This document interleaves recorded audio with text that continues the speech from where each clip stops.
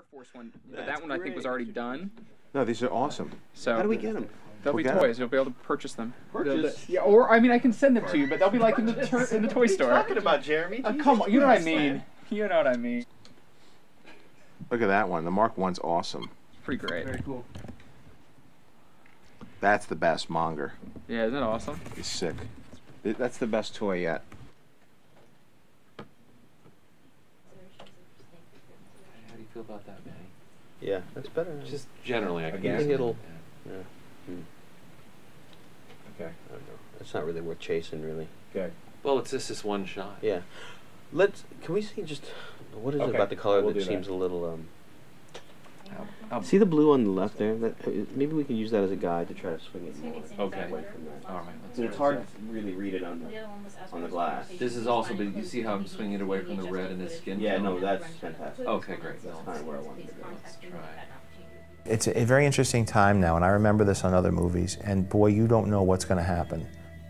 This could be anything from a flop to a, a, a moderate single, you know, where you get on base and you just keep plugging along in your career to something that, you know, where, where it's beyond what people's expectations are. I honestly don't know. I'm, I'm sort of the worst person to handicap that kind of thing right now. I'm in the worst, worst seat in the house. I'm, I'm right in the, I'm right in the thick of things. I don't know where we are. Can you click it up maybe a hair? Yeah. Right now, I'm worried about the minutia. Right now, there's still shots from ILM. We're waiting to get back. I don't know if that space battle is going to pay off. You know, I'm still in the sound mix, the DI. We're still making picture changes. That's just the nature of things. You know, this non-linear style of post-production. It used to be you would lock a movie, you do the music, and then you'd sit back and mix at this point. Well, we're still making picture changes. Ramin's still composing score cues for us if it doesn't quite fit. We're dancing as fast as we can. And, and then I'm going to be promoting the thing all around the world. I don't mind it though. Hey. I think if it was just up, it would be less saturated back Looks there. like a Star Wars poster. This is a bit of a fever pitch. We're getting all the shots in. We're trying to finish them up. All the work of you know two years is all paying off now.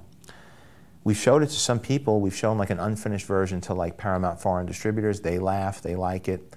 We've shown scenes at Comic Con, WonderCon. They all like it. I've shown friends. But this is a Marvel movie. We don't test these movies. So I don't know. They don't want it getting out on the internet. It's a very secret process. So I, I really don't know how people are going to react to this thing. I know the people close to me seem to like it. Uh, I know that there's funny scenes, that there's scenes with a lot of heart. There's a lot of truth in it. I love the performances. I love the cast. I think the suit worked out really well. I think ILM did a spectacular job. The score sounds good to me, and certainly the, the sound effects sound great. So I don't know. Your services are no longer required.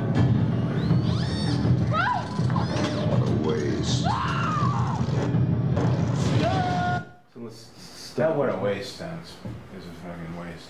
Well, all those three lines are they complementary? Is the big question. Um, I don't think so. Well, they've got a. yeah, yeah. Assuming assuming we could get it to Make them sound the sound same. Your services. Okay, because you have The whole thing about him pointing the gun, it, the, the, a line over pointing the gun explains why he's not smoking her, right? That's the whole thing. That's the idea. Yeah. So, so your services are no longer required. I would push over that. I know we had it there once before. Mm-hmm. I would say what a, I would get what a waste out of there, Okay. and I would Here, just should I put. duplicate your thing down Sure. here? Okay, where are you working? ADR workbench? Yeah. Okay. So right here. he hates when directors point at the screen during photo ops. I do it all the time required. Okay, so we're talking about moving that uh, right here Sure, and getting getting rid of what a waste. Okay. Yes. And there's like Right mix there. downs because that stuff is And so then low. Gonna- Oh, you're you're I'll using it. mixed downs? Yes, so we'll just right. They'll be just in the dialogue tracks too.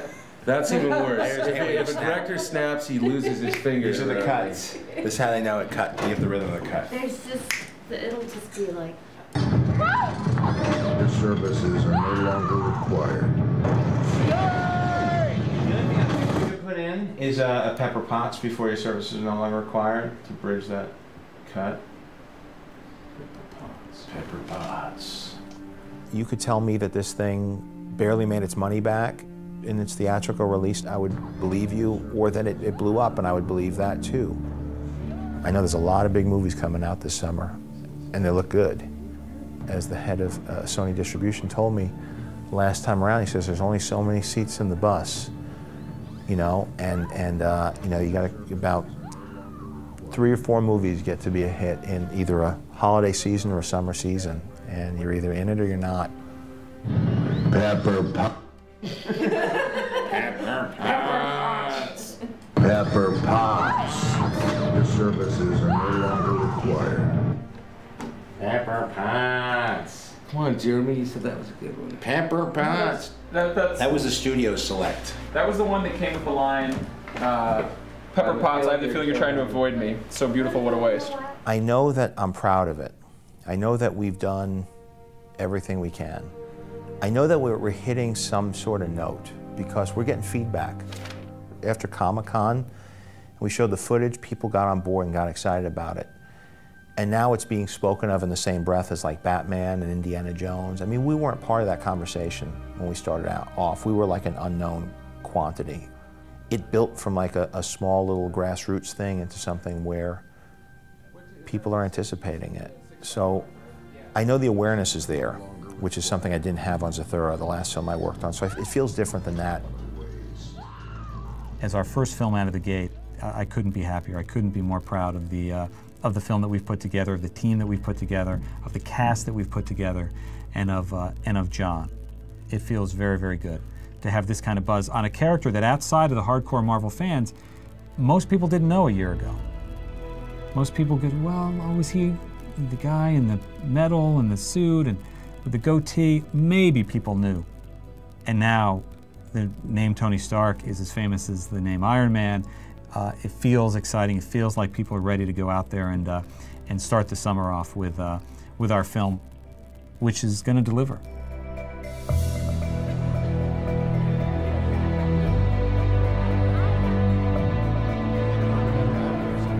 The first one out, people seem to be, you know, ready for the thing. Let's see if uh, that internet buzz translates to a larger buzz uh, and, and, and anticipation with, with the with the general audience.